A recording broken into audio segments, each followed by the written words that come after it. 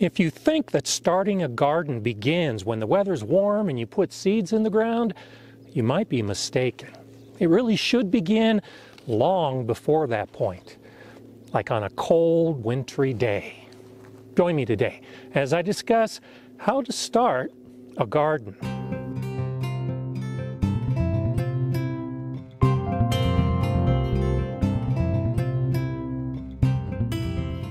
Hi, I'm Gardener Scott, and while you can wait until the weather is warm to start your garden for a more successful season, you should really begin thinking about it months before the weather is warm enough to actually start putting seeds in the ground.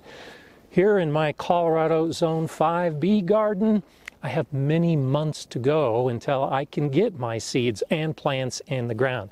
But that doesn't mean that I have to wait until that point. Especially when starting a new garden, I suggest you take time.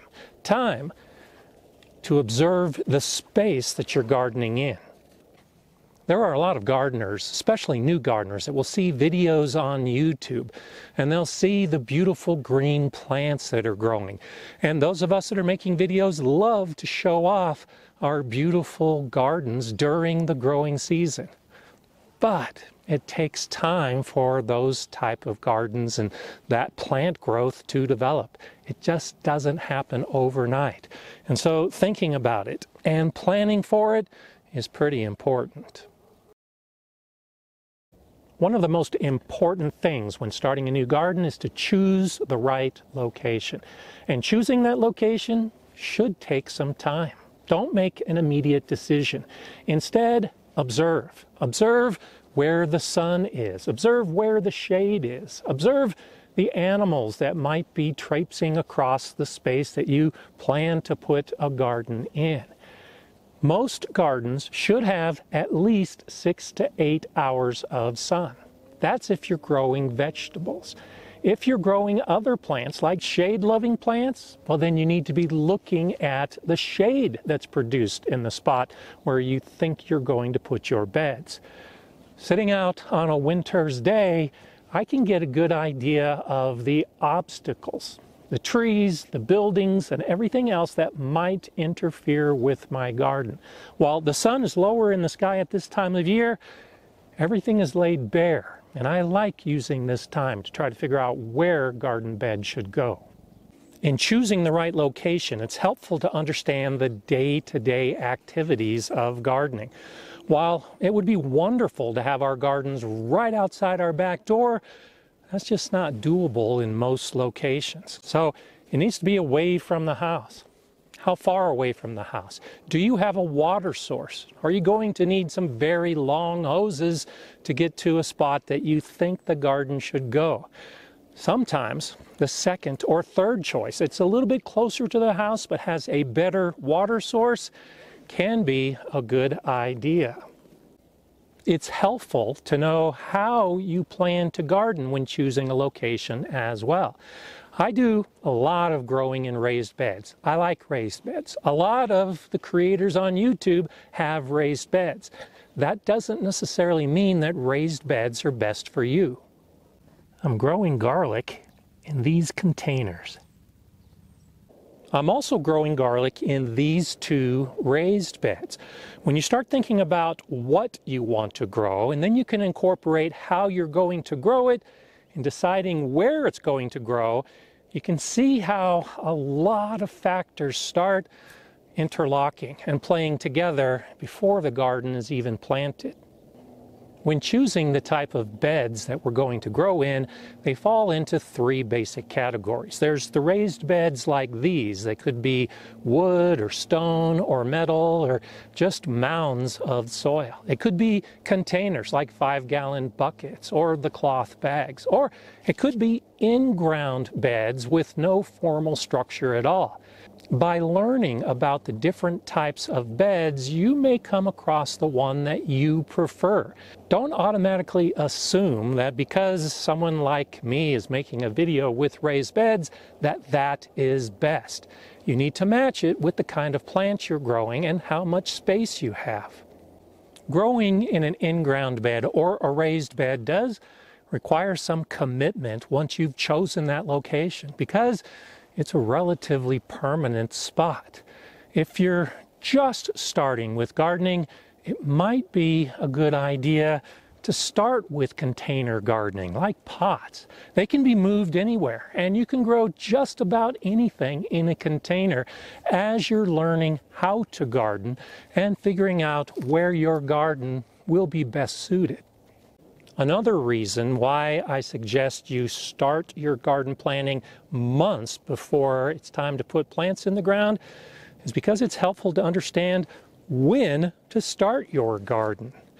A lot of the information we receive from seed companies in particular are based on the last frost date. Knowing your last frost date can help give you an idea of when to start your seeds and when to put your plants outside. Well, we have to decide on the location, the type of beds we're going to put in place, and all of that needs to be done before we reach that important time of spring, our last frost date. I've said many times in previous videos that soil is the key to gardening success. Well, very few of us have good soil that we can plant in right away. Most of us need to spend time getting our soil ready for our plants. That means amending our soil with good organic matter, like compost. That takes time. That plays into the win factor in starting a garden. Regardless of what type of bed you choose, all of these beds, the containers and the raised beds, need to have soil added to them. An in-ground bed usually needs some type of amendment in the soil.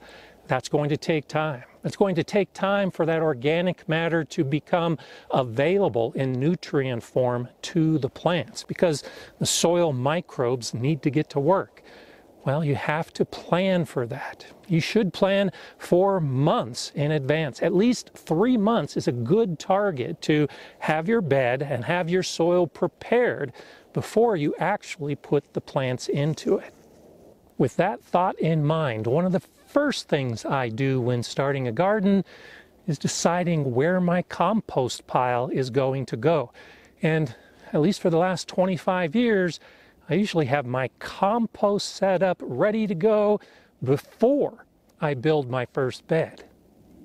Interspersed with some of the things you should think about in deciding where to put your garden, what you're going to grow, how you're going to grow it, when you're going to grow it, is why you're gardening in the first place. There are many, many reasons. And depending on which area of the garden I'm talking about, I do the gardening for different reasons. If you want to grow food for your family, I suggest you start small with maybe just one or two beds. Figure out how to do it and try to ensure that you do have the best location. That's better than starting big. It's taken me decades to learn enough to support the activities I need to grow in a big garden space like this. If you don't have that experience and you try to start this big, you're setting yourself up for potential failure. And that's a big reason a lot of gardeners stop gardening because they realize it's just too hard. If you start small and figure out how to do it wisely, it becomes easy and you can expand and start growing everything you want to grow. If you're gardening because you like the idea of experimenting and trying new things, well, the sky's the limit. If you like the idea of getting outside and staying active, well, the mere act of building a garden helps you do that. Whatever the reason is for your gardening, it's helpful to take the time to figure out what's going to work best for you. Every garden is different. My garden looks different than every other garden in the world, and so will yours. So figure out what works best for you in your space after having answered the questions that you should be considering long before you ever put that first seed in the ground. And you can do it and have success with it. I'm Gardener Scott. Enjoy gardening.